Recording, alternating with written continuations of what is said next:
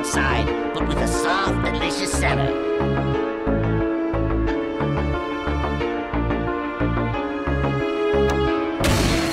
On! Flares here! Homing in! Do it with flair!